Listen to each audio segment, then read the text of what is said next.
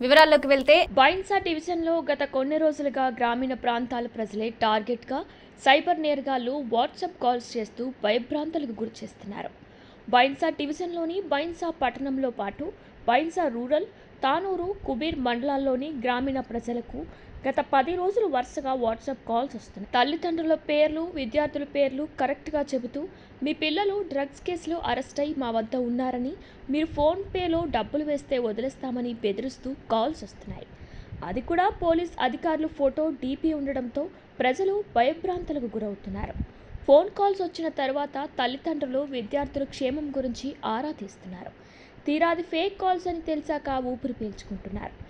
అయితే అపరిచితుల వ్యక్తుల కాల్స్ నుండి జాగ్రత్తగా ఉండాలని పోలీసులు తెలుపుతున్నారు. అయితే ఇప్పటి వరకు ఎలాంటి డబ్బులు పోయినట్లు ఫిర్యాదులు రాలేవని పోలీసులు తెలిపారు. అయితే ఆయన మీ బాబు మీ బాబుకు నేను అరెస్ట్ చేస్తున్నా.